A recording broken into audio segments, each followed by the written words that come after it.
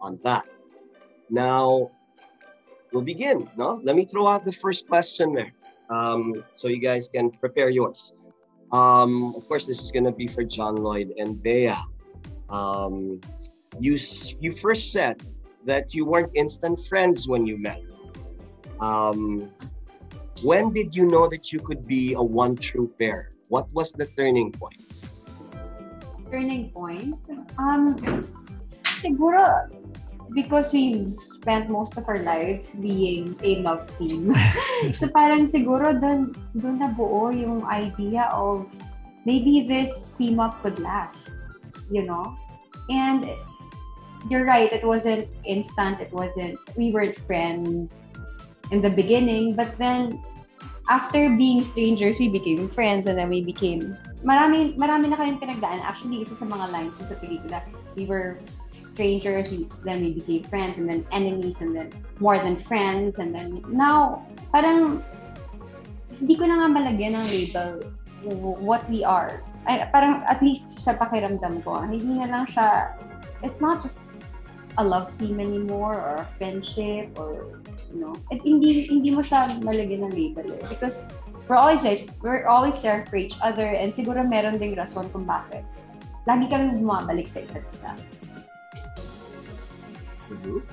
Hindi ko nga, hindi ko makita yung reaction mo. Kaya gusto ko dito. Ano ako? dito ako, dito lang ako. Dito rin ako. well, that's very beautiful, Bea. Thank you for sharing that.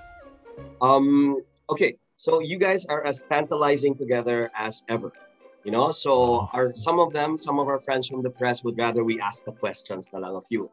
And if that's okay, we'll start with a question from our friend from Malaya, Miss G. Trilliana.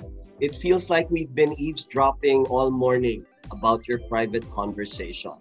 You guys are so good together. Look so good together and sound so good together.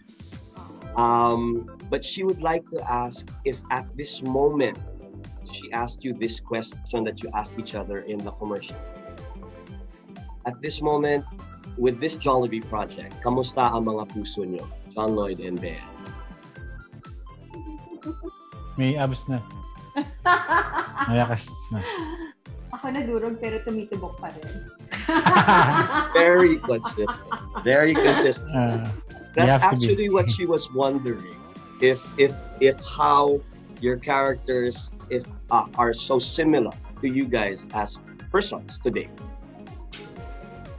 Is I, that true? I guess so. I guess so in many ways. No? Parang ako I could easily relate to the character. Maybe because she's also an actress who is a part of this love team na matagal na, na minahal ng mga tao. Um, I guess in many ways, we're really alike. It was as if I was portraying myself. To be honest. Para siyang juxtaposition ng ng kung ano talaga yung mm. yung I think behind the camera or yung versions namin behind the camera. Um, especially in this collaboration na we were given a chance, 'di ba? A rare opportunity na ma-infuse yung yung take namin on on the sentiments of the characters Ian and Angela. So and I, I I guess the beauty about the script and the movie is that it is open to interpretation. You you can interpret it in many ways or however you want to interpret it. Like, we may have our different interpretations about it, pero pag pinanood mo siguro, you can decide for yourself kung anong nakikita mo or gusto mong makita. Um, I think we may just need to fix some uh, uh, audio issues here. Uh, but but we hear you loud, loud and clear. You guys are authentic. You really are the one true pair together right? I'll, I'll move on to the next question since we only have about 30 minutes pala for this, no? Um, uh, I'll call on Addy Akar of GMA News. Addy has a question. Addy, feel free to turn on your mic and your camera. Hi po. Good afternoon po. Hello, Addy. Hi, Addy. Hi po. Uh, Sir John Lloyd, Miss Bea, kanina po uh, na-discuss nyo po uh, sa kanina sa uh, sa chat po kanina na you enjoyed collaborating with the team behind One True Pair. Um, gusto ko lang po malaman, do you see na someday din, um, pasukin nyo din yung medyo creative side po ng industry, like script, uh, uh, doing, writing a script, or maybe directing? Kasi kita-kita ko po na enjoy, na enjoy po kayo collaborating with the Jollibee team po. Ako, inaantay kong mabasa yung script na sinulat ni Bea. Uh, maraming... Hindi mo mababasa yun unless ikaw yung magiging actor ko. Ayun o. Oh, oh. Baka yun yung hinihintay naming opportunity. Eh, hindi, nag-attend kasi ako ng script writing workshop ni Ricky B before, before the pandemic, back in 2019. Yan. But, wala pa yung script, hindi ko pa na yun I, alam mo, ang gusto ko makita kung paano magiging director si John Lloyd because I think he would make an amazing director. Wow. gusto ko itang madirect kung mangyari mo. Totoo ba? Takot ako. Papahirapan kita. Takot ako. Okay po. Uh, next question po. Um, patapos na po yung 2021. Um, one month to go na lang and um, we're entering a new year. Kayo po ba dalawa, meron po ba kayong mga projects or ventures na medyo na put on hold for the past two years dahil sa pandemic na gusto nyong gawin na next year po? Personally po. Mga maraming na put on hold, like our movie supposed to be yes. together. Or, buti na nga, ito talaga yung natuloy na una because I enjoyed doing this. But um, we were supposed to do a movie for Star Cinema um, mm-hmm. supposedly this year. Well, dapat three years na. But then, uh, napaput on hold because marami yung nangyari, diba? So, hopefully, masimulan din natin next year or... Well, I'm doing a movie with Alden um, in a few days. Magla-lock in na kami. And um, I'll also be doing a soap opera for Channel 7 for GMA in February. So, I'm very excited about it. Eh? Medyo matagal pa yung iintayin ko. Ang dami pa niyang ginagawa. Eh. Hmm? So, Ikaw, meron kang sitcom na ginagawa. Yep. Ikaw oh, nga yeah. kaya yun. We were supposed... Ah, iba na. Hindi. Pero, hindi, kung meron tayong magagawa. I mean, yeah. tapusin mo muna yung movie mo with Alden. Pero pwede akong mag extra doon ako kailangan. Oh my God, totoo? Oo naman, no. Naka-record naman to, no? Pwede kong kuhanin yung kopya. Hindi ka... Sabihin mo lang. Talaga ba? Ayan na. Thank you po. And congratulations Salamat, Adi. po. Thank you, Adi. Thank you very much, Adi. Uh, we love hearing that you guys will do anything for each other. Huh? There's an there's another question sent here, uh, direct JP. What did you love the best about directing John Lloyd and Bea? Um, everything. Oh, everything. Pero, uh, ano ba? Kasi, um, before, kasi bago ako maging director, bago ako maging part ng industry, audience na ako ng Bea and John Lloyd. And I'm a fan ever since. Like, I think nakwento ko to sa kanilang dalawa nung nasa set na parang nung sa boarding house namin with friends meron kami dong DVD, meron kami DVD collection ng maging sino ka man. Tapos pinapanood lang namin siya pag totoo. so ganun talaga ganun talaga ako ka-fan. So to have this opportunity to work with them and to to direct them as in talagang parang ang laki nung na-check din sa list ko ng mga gusto kong maka-work sa industry. So sobrang sobrang saya. So kaya hindi hindi ko lang napapakita yun nung nung shoot kasi nga kinakabahan ako. Pero sobrang saya, sobrang saya experience. That's good to hear. That's good to hear. Thank you, Direct. Um, another question here uh, for for Bea. What made for our friend Beatrice Cruz of Jollibee? What made you to decide to get John Lloyd and Bea as the stars of the first film under the relaunch of the Jollibee Studios channel? That's a question from Therese of When in Manila. What made me decide? No, si Beatrice Cruz. Beatrice. Bea. Yes. Yeah. I'm sorry, Cruz. Beatrice. Bea Cruz. Beatrice. For Bea Cruz. Hi. Parang Bea and John Lloyd. yeah, kaya meant to be talaga. so, What was your question? Sorry. No, the question was for Oh, the Ah, question is for her. Beatrice Cruz Okay. uh, of Jollibee. What made you decide to get John Lloyd and Bea Mhm. as stars of the first film under the relaunch of the Jollibee Studios channel? Okay, so this is for Not When in listening. Manila, right? Yes. Um, yeah, siguro before I answer that, uh, I'd like to share muna the Jollibee's vision for Jollibee Studios. So we really wanted to deliver powerful messages through the form of uh, short films or videos in Jollibee Studios. And one of the things that we've planned for the channel is to actually have exclusive content that's starred by um, big box office celebrities. So for the first film na gagawin namin for that particular vision, uh, we couldn't think of any other celebrity that could star in our first movie, in our first exclusive film for Jollibee Studios. So that's why nung, nung nalaman namin na um, John Lloyd is back, and that uh, Bea Alonso is also doing several projects. Parang we really wanted to be the first brand to bring them together.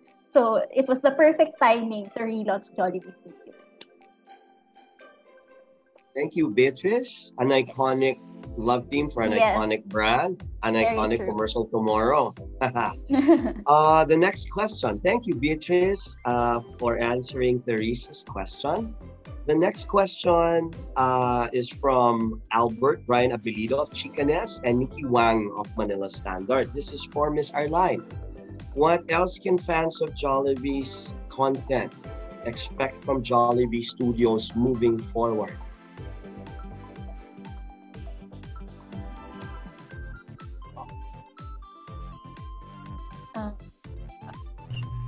Sorry, Mark. Yes, yes. Hello, Arline. hi, hi again. So what can we expect from Jollibee Studios? Definitely um, more content, not just um, for the romantics um, out there, but um, for there's something for everyone, for family, for, uh, for uh, covering also topics on friendships, and also we'd like to we aim to be the Netflix in the um, QSR industry. So this is just our opening salvo because uh, we have many uh, fans of John Lloyd and and who also are very um, uh, strong in following um, love themed uh, content.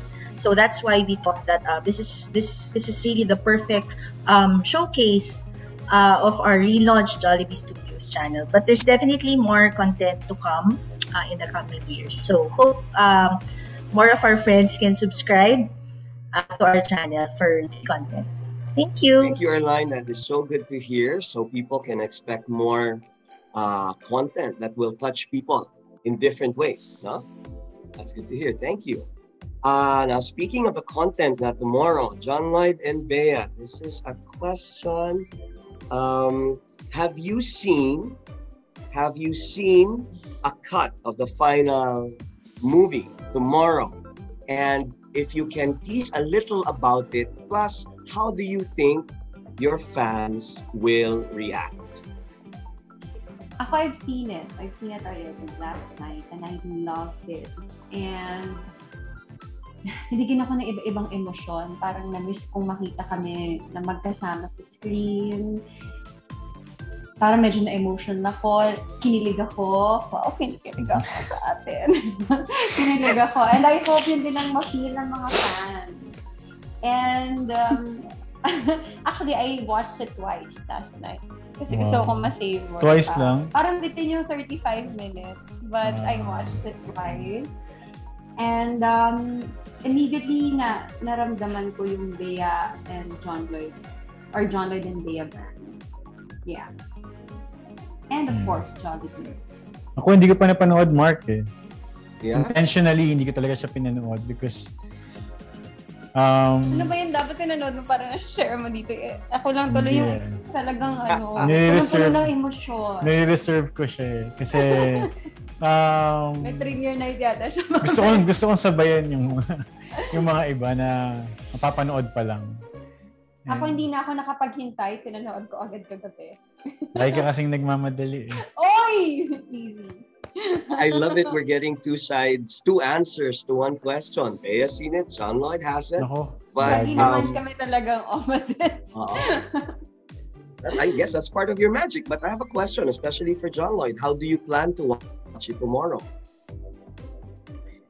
Uh, actually, uh, I get to see it later in, later today, Mark. Right after this. Yes, yes. Uh, Meron kaming preview eh. Pero limited slots only. Meron silang premiere night. May premiere night. Na-invite lang ako. Na-invite lang ako. Eh, I invited her pero Pero busy siya eh. Uy, kaka-invite mo yeah.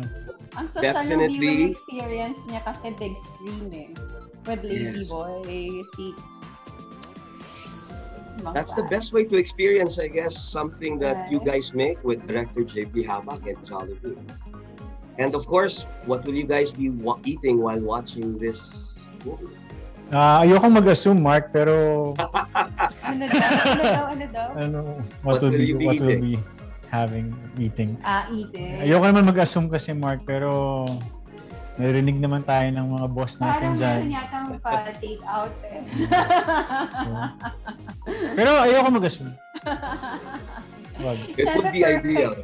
Chicken joy Yes. and jolly spaghetti. You know. Thank you, Bea. Nga. would be ideal if people, uh, yeah, ordered from 87000 their own one true pair to watch while you Right? guys do your one true pair.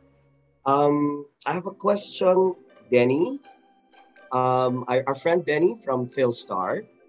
Uh, I'm not sure if she would like to read it, no? Uh, or if she would like me to read it. Denny, ah, there you are. hi, hi, Mark. I'd Hello. like, ah, sige, I will ask na lang. Happy to have you here, Denny. Yeah, you too. Uh, thank you. I, John Lloyd and Bea, among your many hugot lines, which ones are your most favorite and why?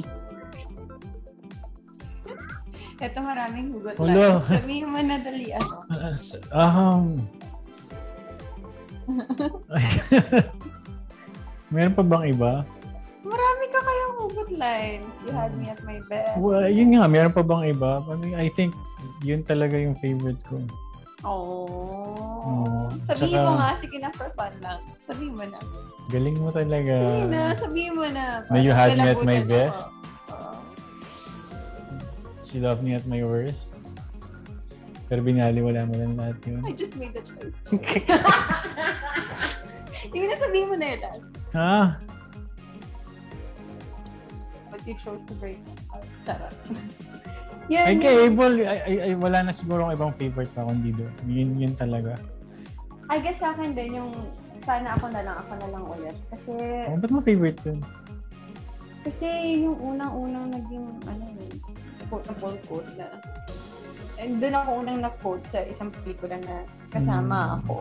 And siguro yung isa pa, yung kay Bobby, yung bakit parang kasalanan ko. Only because I think it's the most memeable quote. Ngayon kasi ang daming memes. Ano yung memes? Joke lang. Sorry, nakatira kasi sa bundok to eh. ano yung memes? Yung ano, yung parang, yung ginagawa na, yung face mo, lalagyan na Alam ko naman yung meme. Grabe ka naman, Bea. Hindi ko talaga alam yun. Sobra Hindi mo naman. talaga. Hindi mo kaya alam yung iba. Nakakahiya naman kayo din. Okay. so, siguro Ah, yun. Follow up, um, you were asked about being soulmates earlier. So, do you consider yourselves as soulmates? So, why or why not? Ang hirap ang bigat naman yung tanong niya. Diba, soulmate kita. Uy, tayo. Ang Hindi. hirap sagutin. We don't know how to. Ah, Tingin ko parang hindi pa ba? Kung kailangan pa ng another 20 years to define it, kailangan, parang, I think two decades is more than enough na pulse yung souls natin. I mean, especially in the context of uh, collaboration and Yeah.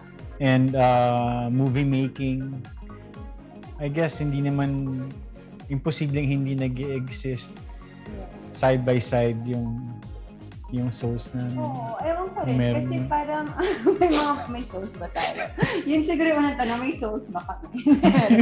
Pero, ako siguro, hindi ko kasi alam kung dapat ba ikaw na na soulmates kami or dapat bang pero siguro kung pagbabasihan mo dun sa lagi kaming pinupull back together. Ay, lagi kaming pinupull back ng pagkakataon to be together.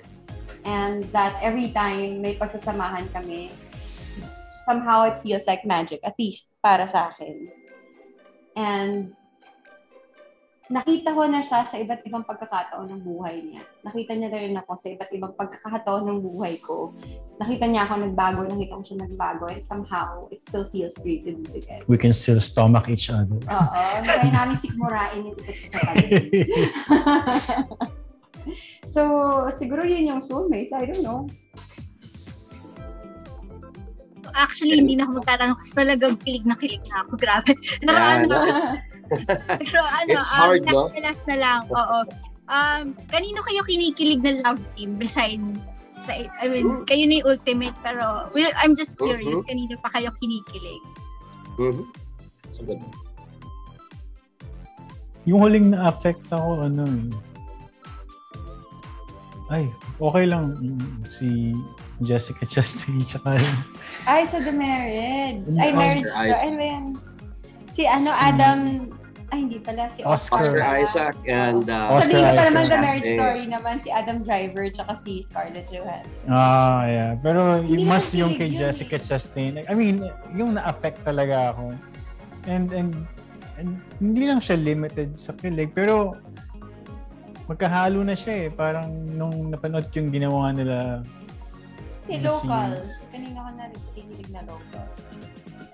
Ah kay Empoy tsaka kay Alex. Nakakainis ko. Bakit? Ako, hindi ba ang hirap sagutin eh. Pero, like, it warms my heart kapag hindi sila love yung mag-asawa sila. Pero, ay, ang hirap sagutin. O nga, huwag na lang sagutin.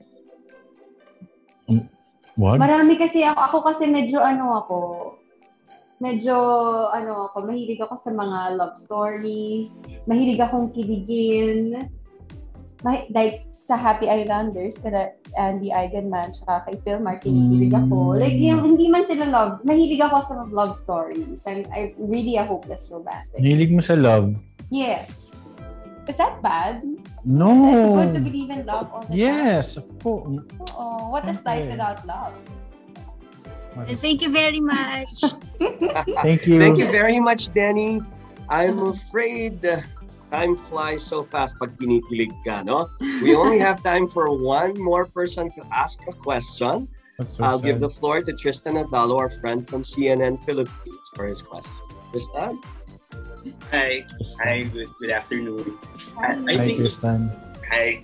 My question would be for the Jollibee team and to direct maybe uh, shooting this project in the middle of a raging pandemic. Although kahit naman parang um, minsan may mga times na bumababa yung case. But still, um, paano po yung challenges na ng pag-shoot or paggawa ng project na ito. And for the Jollibee team, at naalala ko before, yung kwentong Jollibee based on truth, yung parang sinasabi ng Jollibee laging uh, powerful truth-telling. Uh, ito bang story na to is also based on true story or or ito po ay ginawa or ginawa talaga for John Lloyd and Lady? Sige. Siguro, ah, hi Tristan, I'll answer first, no? So, in terms of production, grabe, um, ever since the pandemic talaga, medyo kakaiba ang experience for any type of production. But since this is our um, biggest one yet, I will not parang um, hide the fact that yes, there were really challenges. Aside from pandemic, nung time na sinushoot namin to, bigla ring umulan despite the weather forecast. So those are one of the things na na-experience namin. No? Pero um, the best way siguro to answer that is um, given then our experience with pro- producing films and commercials during this time of pandemic, we, we just really do our best to um, to be compliant to all the necessary safety protocols. So, even for this particular shoot, we did locked-in taping. So, walang lalabas, walang papasok during that uh, during the shooting period. So, we're all in that bubble. And then everyone was um, tested with um, RT-PCR before entering the bubble and daily antigen tests also.